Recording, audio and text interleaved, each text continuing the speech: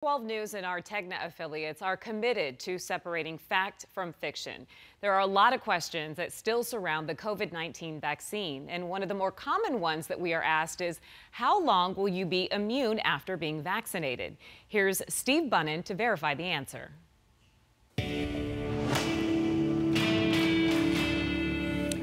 Immunity from the flu shot only lasts about a year, but it lasts a lifetime for the measles. So, how long will immunity last once you get the COVID 19 vaccine? Let's verify. To find out, we checked with the CDC and consulted with Dr. Alex Greninger, the assistant director of the UW Medicine Clinical Virology Lab.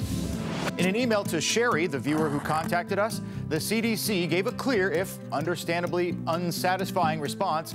Both this disease and the vaccine are new. We don't know how long protection lasts for those who are vaccinated. I mean, the tough thing here is longitudinal studies take time, right? These first vaccines, we got the RNA vaccines. This is the first time we've ever done RNA vaccines in people. So, I mean, that makes it harder to, to analogize. The CDC does conclude they wouldn't expect you to get reinfected within at least three months of getting your COVID vaccine. But beyond that, it's an educated guess. I know there's no set answer, but do you have a kind of a general guideline? We assume this sort of a timeline? The immunity from the vaccine will probably last in the order of years depending on what happens with this virus from a mutational standpoint. Until scientists collect years of data, at this point, we can only verify immunity should last a few months, probably six months to a year, and hopefully a few years. But so far, we simply don't know for sure.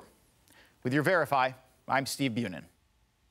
And if you have something that you would like us to verify, send an email with your idea to verify at 12news.com, or you can post your question on the 12 News Facebook page, or you can tweet us at 12 News.